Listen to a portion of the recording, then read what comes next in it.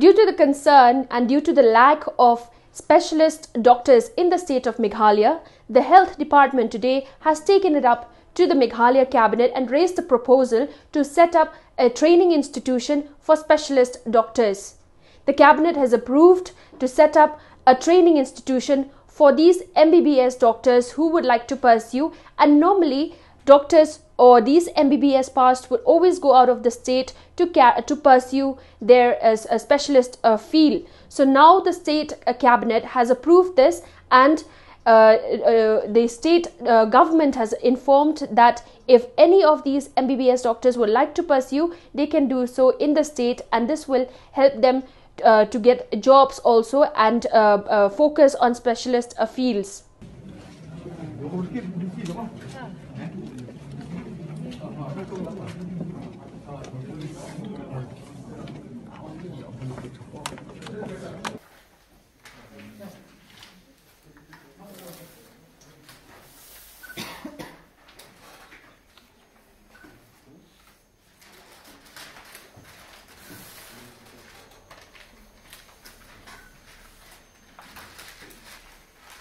Health department has proposed diploma training course for the MBBS, which is more or less, of course, below the special, uh, below the specialist, but of course they will be called also specialist. Those MB, MBBS who wanted to continue in their study for specialization, they can do that. And then today, the proposal submitted by health department it is approved that henceforth those mbbs who wanted to continue their further studies within the state the government will create and set up a training center which is recognized all over the state and the duration of this training is for two years, not three years. It is two years term. And after they, after complete, after completion of this training, they will be called a specialist. But of course, below the normal specialist, where they need to go outside the state in different, uh, in different uh, medical college.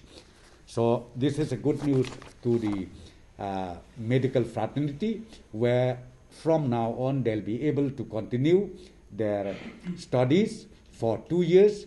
As you also know, we have huge, huge shortage of specialist doctors. Mm, as of today, the shortage that we have is not less than 121 numbers of specialist doctors. So with this initiative taken by the government, I'm sure after two years from now, we will be able to have our own specialists.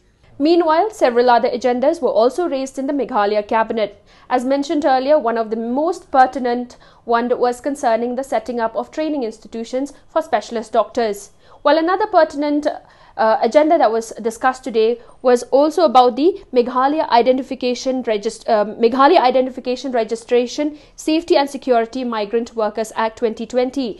Now, according to Deputy Chief Minister Prestone Tynsong, he is informed that the Labour Department has brought in the draft rules and he has also said that once these rules are in place, the implementation for registration of labourers will immediately take off. This is all. This is Princess Rasha reporting for EastMojo.com from Meghalaya.